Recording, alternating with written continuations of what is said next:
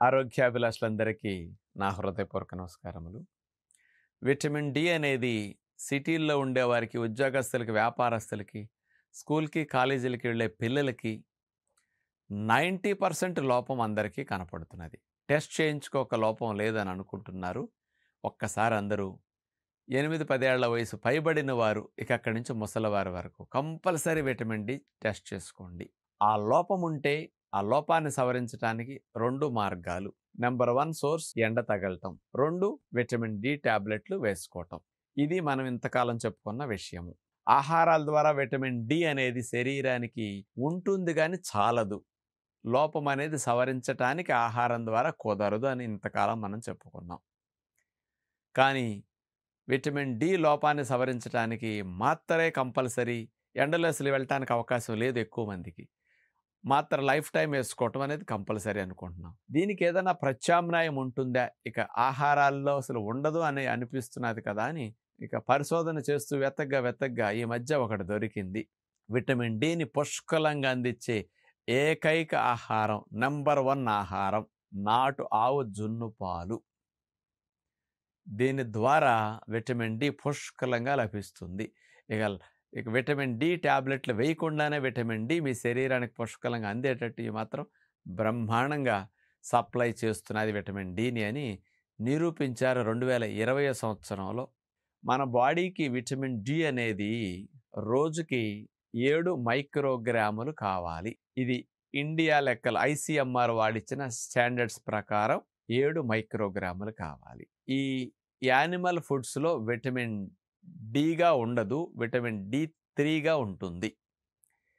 అంటే vitamin D అనేది మన శరీరం తయారు చేసుకున్న రూపం విటమిన్ డి.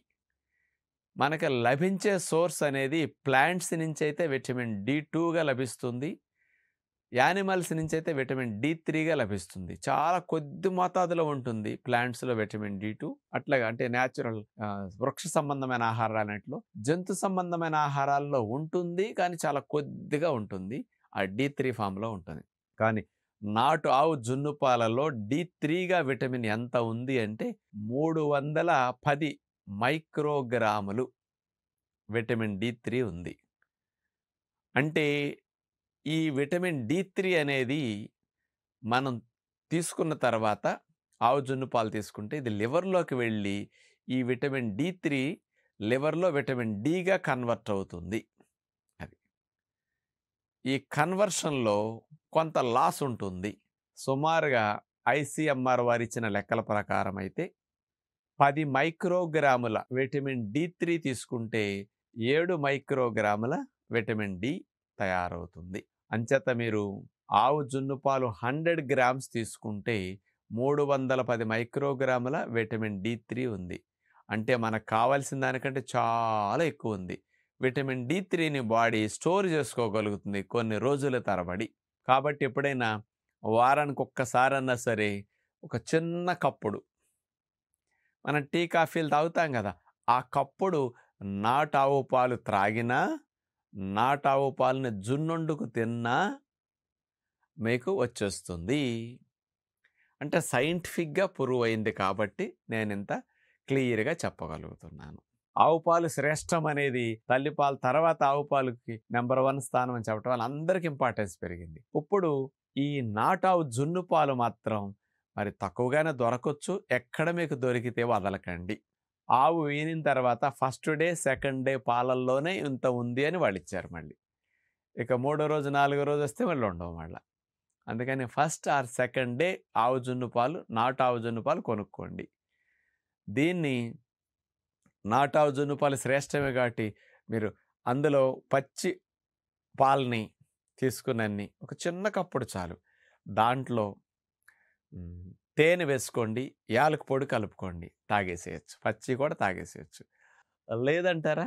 కొన్ని మామూలు కాలు కలిపేసి జున్ను వండుకుని అంత జున్ను తినేసేసేయండి. ఫ్యామిలీ అంతా తినండి చక్కగా. అంటే విటమిన్ డి బాగా వస్తుంది. ఇట్లా వారానికి పది రోజులకు ఒకసారన్నా నాటావు జున్ను పాలని త్రాగటమో జున్ను వండుకొని కనుక తినగలిగితే చాలా బాగుంటుంది. జున్ను తేడా చేయదు తేనెతో చేసుకుంటే. కాబట్టి పంచదార వేసిన దానికంటే తేనె వేసేస్తే ఇంకా చాలా టేస్ట్గా ఉంటుంది. అసలు కఫము దగ్గులు శ్లేష్మాలు కొలెస్ట్రాల్ ఇట్లాంటి సమస్యలు రానే రావన్నమాట. అంచేత విటమిన్ డి లోపం అనేది సవరించడానికి నాటావు జున్నుపాలు అంత శ్రేష్టం కాబట్టి మీరు ఒక్కసారి పిల్లలు పెద్దలందరూ పరీక్ష చేయించుకోండి. ఈ సోర్స్ మనకు లేదు. నాటావు జున్నుపాలు కుదరదు. ఏ ఫుడ్ ద్వారా విటమిన్ డి మీకు తయారవటం అనేది జరగదు. అందులో ఉన్నది చాలదు. కాబట్టి మీరందరూ ఏం చేయాలంటే కంపల్సరీ విటమిన్ డి ట్యాబ్లెట్లన్నా వాడండి. మొదట్లో లోపం ఎక్కువ ఉంటే వారానికి ఒకటి చెప్తారు. అక్కడి నుంచి నెలకొకటి వేసుకోమంటారు డాక్టర్లు. ఆ ప్రకారం నెలకొక మాత్ర వేసుకుంటే ఏం పోతుంది? లోపం వల్ల అనేక నష్టాలు. అంటే ఇటు నాటావు జునుపాలు లేదా అటు ట్యాబ్లెట్ లేదా అసలైన సోర్స్ ఎండ. ఈ మూడిటి ద్వారానే మనం దీన్ని పొందే అవకాశం ఉంది కాబట్టి నెంబర్ వన్ విటమిన్ డిని సప్లై చేసే బెస్ట్ ఫుడ్ నాటావు జునుపాలని అర్థమైంది కాబట్టి అవకాశాన్ని బట్టి ఉపయోగించుకుంటారని విజ్ఞప్తి చేస్తూ నమస్కారం.